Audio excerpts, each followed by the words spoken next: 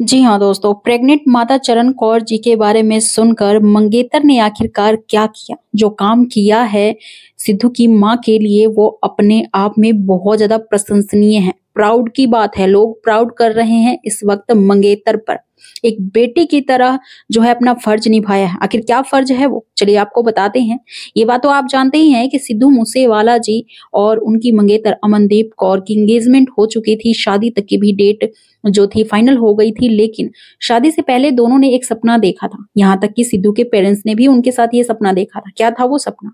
वो सपना यही था दोस्तों कि दोनों ने मिलकर एक छोटी सी प्यारी सी गुड़िया को जन्म देने का जो है सपना देखा था। सिद्धू मूसेवाला जी को बच्चों से इतना ज़्यादा लगाव था कि अधिकतर तस्वीरों में वो बच्चों के साथ ज़रूर तस्वीर क्लिक करवाते थे। एक तस्वीर तो सोशल मीडिया पर आज सुबह से ही वायरल हो रही है। जो कि आप देख भी रहे हैं। इसमें सिद्धू की मंगेतर एक छोटी सी प्यारी सी गुड़िया है, जो कि सिद्धू मूसेवाला की मंगेतर के घर की ही ये गुड़िया बताई जा रही है और साथ में सिद्धू जी खड़े बहुत प्यारी तस्वीर है अपने आप में। ऐसा लग रहा है इस तस्वीर को देखकर कि फैमिली अपने आप में एक कंप्लीट है, जिसका फैंस ने भी सपना देखा था कि सिद्धू मूसेवाला का जब शादी होगा तो उनकी प्यारी सी एक छोटी सी गुड़िया होगी। उनकी गुड़िया की एक चाहत थी कि मेरे घर में एक गुड़िया होगी और तभी मैं बेटियों पर जो है गाना बनाऊँगा। उन्होंने कभी भी बेटियों को लेकर गाना नहीं बनाया था, लेकिन उनकी दिल की इच्छा थी, उनका सपना था कि वो बेटियों पर एक गाना बनाए। लेकिन उन्होंने ये भी जो है कमिटमेंट किया था खुद से कि जब मेरी खुद की बेटी होगी ना, तब मैं बनाऊँगा गाना बेटियों के लिए। और उन्होंने तैयारी भी कर रखी थी। लेकिन दोस्तों, इन सभी सपनों को पूरा होने से पहले ही उनतीस मई 2022 की शाम को क्या हुआ, वो सब आप भली भांति जानते हैं। और वो जब हुआ, उनकी हत्या हुई, दर्दनाक उनकी हत्या की गई, हत्या हुई, हत्या की गई प्लानिंग के साथ, उसके बाद सबके सपने चकनाचूर हो गए। आज सिद्धू के सपनों को जी रही हैं माता चरण कौर जी। जब ये खुशखबरी, ये खबर लीक हुई सिद्धू के परिवार की तरफ़ से, उनके ताया जी ने लीक की थी इस खबर को, हालाँकि सिद्धू की माता और पिता दोनों नहीं चाहते थे, इसीलिए माता चरण कौर जी काफ़ी टाइम से हवेली के अंदर ही रहती थी, बाहर नहीं निकलती थी।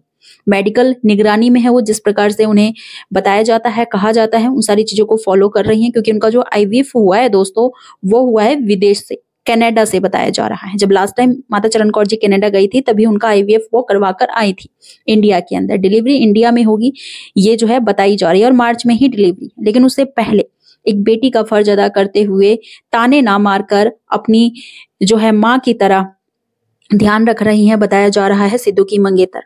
कभी वीडियो कॉल के ज़रिए तो कभी हवेली पर जाकर। इस तरह की तमाम खबरें जो है सोशल मीडिया पर आए दिन वायरल हो रही है, जब से सिद्धू की माता चरण कौर जी की प्रेगनेंसी की खबर सामने आई है।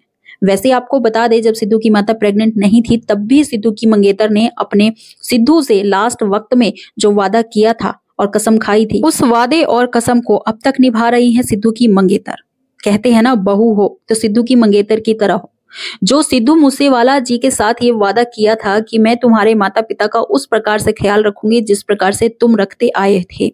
और हमेशा मैं जो है उतना ही उनकी परवाह करूँगी, ध्यान रखूँगी जितना तुम रखा करते थे। ये वादा किया था, कसम खाई थी कि जब तक तुम्हें जस्टिस नहीं दिला लेती मैं, तब तक मैं शादी नहीं करूँगी। और उस वादे और कसम पर अभी भी कायम है सिद्धू की मंगेतर। अपने आप में काफ़ी ज़्यादा प्रशंसनीय है। एक बेटी की तरह ध्यान रखती है हर एक चीज़ का सिद्धू की माता और पिता का। अब जब खबर मिली तो इस खबर से जैसे आप लोग खुश हैं, उसी प्रकार से सिद्धू की मंगेतर भी खुश हैं। और आपको बता दे, कहीं ना कहीं सिद्धू मूसेवाला जी का जो सपना था, छोटा सा, प्यारा सा, नन्हे से बच्चे का वो सपना आज पूरा होने जा रहा है। पूरे पंजाब ने और जो भी सिद्धू के प्रशंसक है, जिन्होंने सपना देखा था ये, वो सपना आज सिद्धू की माता चरण कौर जी के द्वारा जो है पूरा होगा वेल दोस्तों, क्या सिद्धू की मंगेतर जितनी ज़्यादा खुश हैं सिद्धू की माता चरण कौर जी की प्रेगनेंसी की न्यूज़ सुनकर, क्या आप भी उतने ही खुश हैं? क्या आप भी उसी तरह से ब्लेसिंग्स भेजना चाहेंगे सिद्धू की माता चरण कौर जी को? तो कमेंट सेक्शन में ज़रूर लिखिएगा और साथ ही hash justice for Sidhu Moosewala भी अवश्य लिखिएगा। धन्यवाद।